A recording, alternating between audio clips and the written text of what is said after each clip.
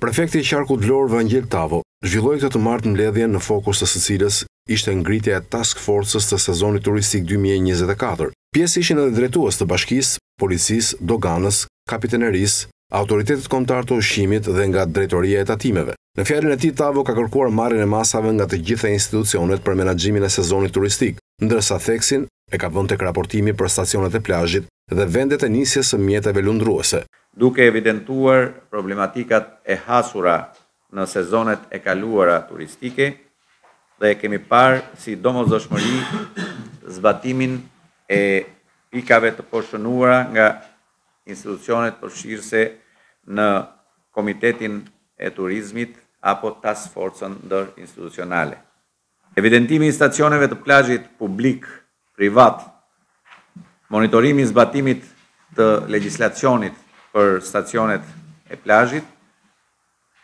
funksionimi i qendrave shëndetësore, kontrolli dhe monitorimi në terren i çdo rasti abuziv apo problematik që kemi hasur ose që do të hasim. Kryebashkiaku Ermal Dredha u shpreh se firmat të cilat po punojnë për vendosjen e ujësjellësit të ri të Vlorës, deri më pesëmbëdhjetë qershor do të rehabilitojnë rrugët ku kanë bërë ndërhyrje. Ndërsa për landfildin e Sherishtës, tha se brenda pak ditësh pritet të nisë zbatimi i projektit.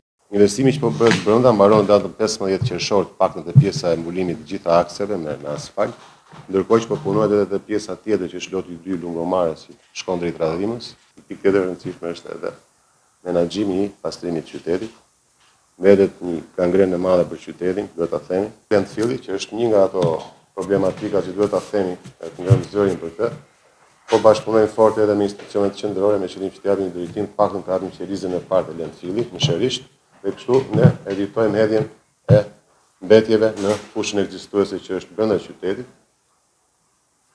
Në këtë rast ne mund të evitojmë edhe zjarret që është pothuajse e pamundur, por të paktën mund të menaxhohet më mirë.